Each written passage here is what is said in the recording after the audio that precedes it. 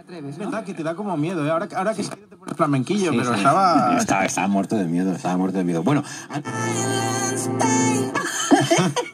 Y lo empujaba. Y ¿eh? nada, quitabas, te ponías en punto muerto y hasta que llegabas a- abajo. ¿Estáis ahí?